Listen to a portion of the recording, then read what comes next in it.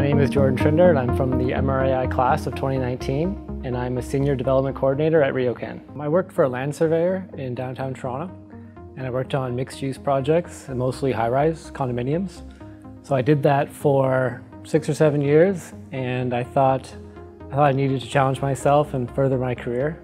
A business school offering a real estate program was a great combination where I could get the business aspects as well as the development.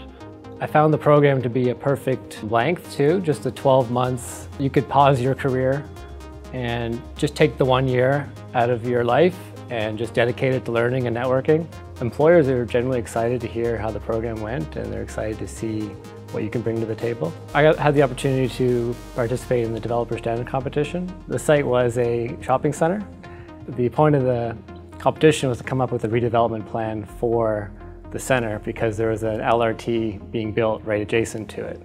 So the, my team and I were able to come up with a mixed-use plan for the site. Not only did we win the competition, but that actually stirred my interest in this asset.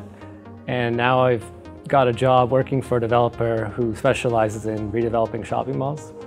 And now I'm working on an asset that I enjoy working on, and I contribute that to the school you develop new connections that you would normally you normally wouldn't have in the working world. It's more than just getting a business card and a contact. You actually build relationships with these people because you see them you see them at events outside of Schulich, you see them within Schulich. Saying you're an MREI has opened many doors for me along the way.